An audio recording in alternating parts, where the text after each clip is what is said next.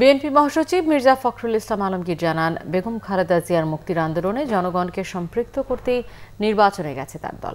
নির্বাচনী পরিবেশ তৈরি করতে কমিশনের প্রতি আহ্বান জানান তিনি।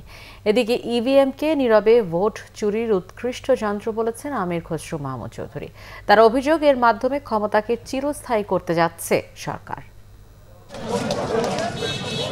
সোমবার ঢাকা উত্তর সিটি কর্পোরেশন নির্বাচনী প্রচারণায় অংশ নেন বিএনপি মহাসচিব মির্জা ফখরুল ইসলাম আলমগীর।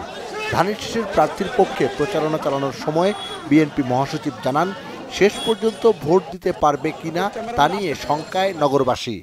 আমরা সেভাবেই চেষ্টা করছি, জনগণকে ভোট কেন্দ্রে আসার কথা বলছি এবং ভয় ভীতি উপেক্ষা করে তাদেরকে, তাদের যে অধিকার, সে অধিকার প্রয়োগ করার জন্য আমরা আহ্বান জানাচ্ছি। কেমন সারা পাচ্ছেন? কেমন দেখছেন আজকে দেখছেন যে আজকে মানুষ কীভাবে স্রোতের মতো নেমে আসছে এবং গণজোয়ার সৃষ্টি হয়েছে। এদিকে চট্টগ্রাম আট আসনের উপনির্বাচনে ভোটাধিকার বঞ্চিতদের সাথে মতবিনিময় সভা হয় ঢাকা রিপোর্টার্স ইউনিটিতে। বিএনপি স্থায়ী কমিটির সদস্য আমির খসরু মাহমুদ চৌধুরী অভিযোগ করেন ইভিএমে মানুষের ভোটাধিকার প্রয়োগের সুযোগ নেই।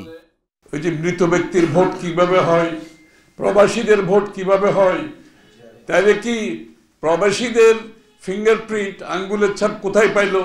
মৃত ব্যক্তির আঙ্গুলের ছাপ তারা কোথায় পাইলো? তারা জেলে আছে তাদের আঙ্গুলের ছাপ কীভাবে পাইলো? তাহলে ইভিএম এর বিশ্বাসযোগ্যতাটা কোথায়?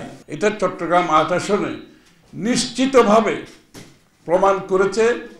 ইভিএম হচ্ছে তাদের ভোট চুরির একটি তাদের ক্ষমতা চিরতরে অব্যাহতভাবে ক্ষমতা থাকার একটা প্রক্রিয়া তারা বের করেছে ইভিএম এর মাধ্যমে।